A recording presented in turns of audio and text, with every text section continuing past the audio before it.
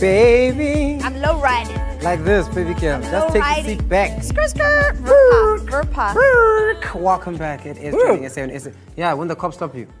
Uh, You don't stop you? No, it goes, it goes, it goes, boop. I know. That's uh, I don't know what that's a Mazda 3, that one. Anyway, it's still Trending SA on SABC3 and of course trendingsa.tv on the interwebs. Thank you so much for all your love on Facebook and Instagram. Keep tagging us. It is hashtag on3.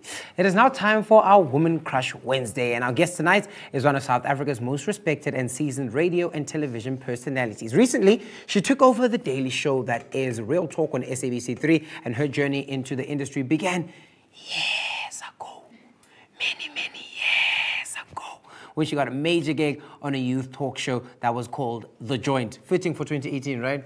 The- what is it The Joint. about? Okay. It's legal. Oh, oh, you talk about Dagger again. No, yeah, leave that for now. And of course, that was one of the SABC channels that was called CCV TV. Do you remember? were Where- you? where were you? I don't think I was I even think I was in my then.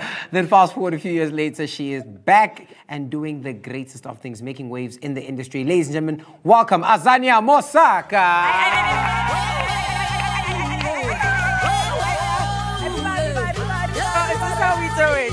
It. We love it. We love it. No, We you love make it me sound so old. No, you're not. I mean, you know what? Experience. I think it's better that I say things like CCV TV and then you come out and look the way that you CCTV. You know? Because, because people are like, CCV TV? yeah. How's our pula? No. Wow. I don't wow. it was. Right, so let's get into it. We don't have a lot of time. I want to start off with this weird thing I've been seeing on your socials, right? I'm seeing you take hikes. I'm seeing you jump off of uh, bridges and all sorts of things and all this adventurous stuff, Yes, right? Are you very outdoorsy very lately? Um, I am outdoorsy. I've always been outdoorsy, but I just kind of uh, left it for a while. You know, I did the whole marriage thing with children, and having children almost makes you feel a little bit more scared. When I was younger, I used to swim in tanks with sharks and stingrays, Sure. and uh, went across the continent, and yeah, so I've just rediscovered that. All right, I want to see this bungee jump thing that you did, Oh, right? okay. So that everyone at home is not missing out on all this fun because we know data is expensive. So let's have a look. What's going on in your head when this is happening? I was so scared. You don't look it because There was no turning back. I, I keep it inside really well. Look at you Really, going. really well. All right. I know. like, and "Joy!" I still kind of get a rush out of that. That is the highest bungee uh, bridge in the mm. world. Mm. Wow. 260 meters. Did they push you or did you just jump? No, you just jump. There's no pushing. Wow. A couple of people did turn back, but I'm proud that I That's did. that's a bit was intense. amazing. Yeah, that's a bit it intense. was. So on top of like the shark things and the stingray things and the bungee jumping things, I hear you want to fly planes. Tell us more about that. Yeah, it was a childhood ambition. I always thought I would be a pilot or an economist. do it. Yeah. Yeah, do it. Yeah. So hmm. then I opted to, and then it was too expensive back then. Yeah. Uh, We couldn't afford it. But now, you know, girls making Mololo. a little bit of Girls with money. aeroplanes. Nana, uh, don't be, replace. um, like somebody spice in and As Sweetie, you recently took over a real talk on three. Well Is done. Congratulations. Congrats. It it was, feel it was a couple of months. A couple of months ago. Congratulations on that. How did you get? How did you land the job? I had stood in, I was helping out, you know me, like Anele was uh, going on holiday, and then they were like, we need someone, we can't have pre-records, Yeah. we can't replay old shows. Mm. And then I was like, they asked, I said, okay. I hadn't done TV in a while. Mm. But I mean, you you done it before, so it was like riding a bicycle. You, it was seamless, wasn't it? You went back What, into TV? No, no, Going back. no. No, it wasn't that seamless. Mm. I'd forgotten about so much. And then, my Angela I read Did it? recently that Iavalwa Ilanduza E3 Talk. Do you know about it? How do you feel about it? Three talk. and guess who's, no, guess who's a person from, Real talk. I'm with you, I'm with you. Ranga, How did you feel this? Because when I was there, we were praying. I, Ara, we were praying. You were one saying, "Oh, I hope none of our shows come to an end." Yes. Yes. Well, I was there for the duration of the end of the season. I was there Okay. to help them to finish the season because Anele left in the middle of the season. oh, so you knew. But it's okay. Well, for me, it was always about a contract till the end of October. Okay. You know what I mean? Okay. So, but there is a team, of course, to worry about. Young Yeah. people who mm, made their plans around their mm. jobs, around uh, working there for another year. Mm. But yeah, I guess you'd have to call the SABC's spokesperson. Okay. That's true.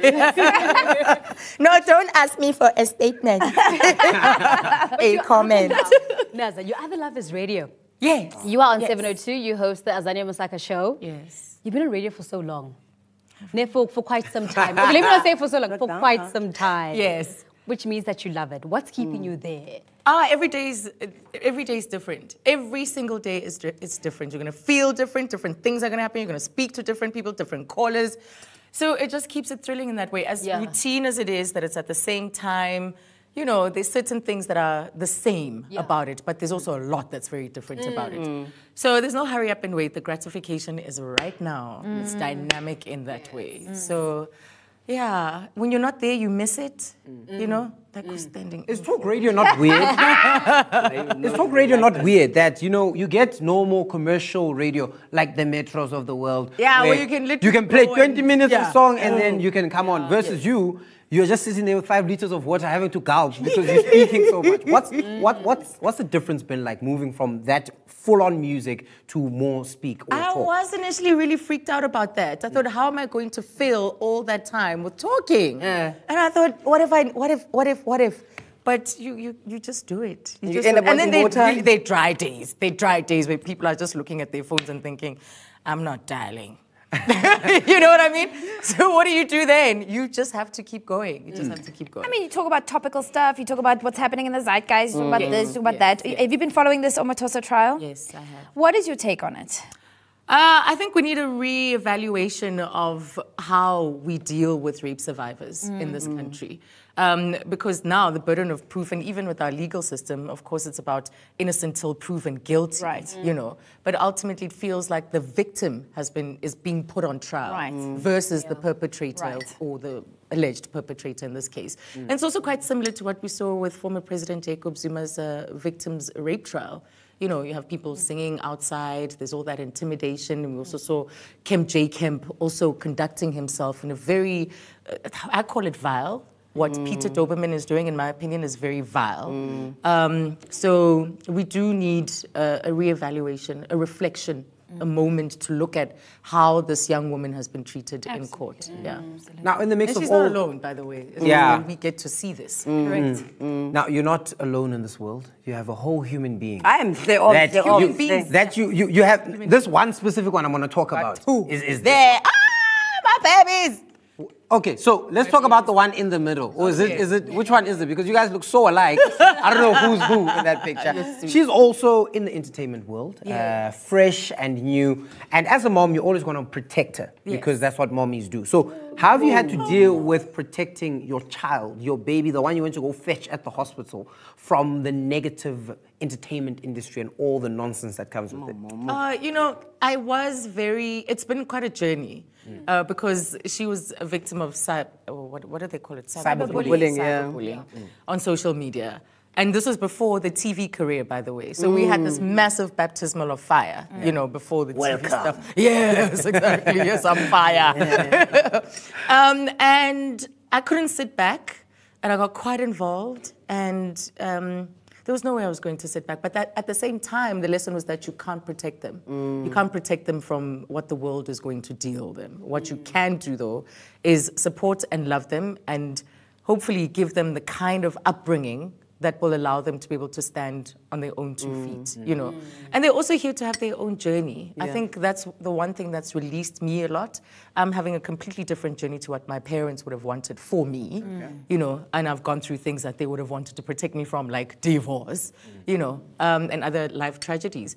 But ultimately, they're, there, they're here to do their own thing.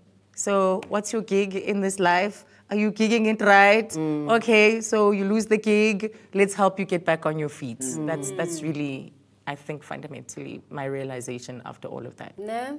Well, see, ultimately, they're here to do their own thing. You do your own thing in the style department. Like, your style is impeccable. Where's the gang? As in, eh, Yeah. your, I was your- looking at this whole thing. I was like, Yeah. yes. You are that one. And that's, that's made you a fashion icon. In the, well, we look at you, we see a fashion icon. You don't Yeah, when I get dressed in the morning, that's not what I'm thinking. And then I look at the two style awards, I'm like, maybe there is something I here. mean, but- you know, Yeah. you know, and you're Two, Nana. Two. I've only got one. Second one is coming. You I'm chasing you on a number of scores, so at least you're doing some chasing too. Okay. Yeah, yeah, yeah.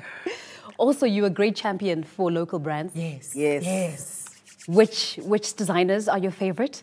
Um, okay, I have a long history with David Tlale. Long, long history. I mean, when he was starting out, I was starting out, and he was that person that would dress me when I needed him to, and he still does.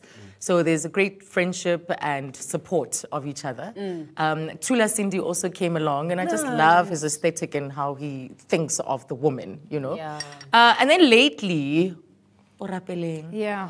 Orapeleng Modutle is- I'm just so crushing on him. Like I want everything. I want everything. He's amazing. Talking about crushing on people and wanting everything, um, you promised me some makeup, Miss Salon. You're an entrepreneur. Tell us about that journey, Lala. And where's my pamper? It's coming. Sis. It's Dang, I coming. support Tell me a about local it. entrepreneur. Um, so we've got a, uh, I don't, I'm not going to call it a chain, but we've got three boutique nail salons, and we do a couple of things, and they would do nails. Wow. We relax. Wow. Where do you find each other? We do nails, we run a business, we manage human beings and customers. Mm. And then we've got another partner uh, that who's not in there who developed the makeup actually. Six years is how long she spent formulating it. Um, and she's based in Washington. Lord. Yeah, so I mean, it was someone working on it, and then she just left it. It just sat there until one day her sister, one of our business partners, said, "Whatever happened to that thing? Come, come, take it out. Let's see." You know, dust it off, and that was that. So now we're, we're, we're in eight Woolworths. Um, in the beauty halls, we've got foundations, uh, we've got It sounds like you banana have a bread, whole blushes, makeup range. lip balms. No, I mean we don't have eyeliner, we don't have mascara, we don't have pencils. Not yet. But My it's all about colour? this. Yes, Oh, we pride ourselves on I color matching. clarity. No, we pride ourselves on the perfect. Well, listen, matching. we're very happy that you joined us this evening Thank or you for the tonight because we really had fun. We could talk for hours Yeah. sitting here, looking back, looking forward, and looking at the present. But we're very happy that you joined us today. So, big round of applause for Zanya, ladies and gentlemen. Thank you. And that is that now. We're going for a quick ad break. When we come back, what's up on WhatsApp, yo? You're not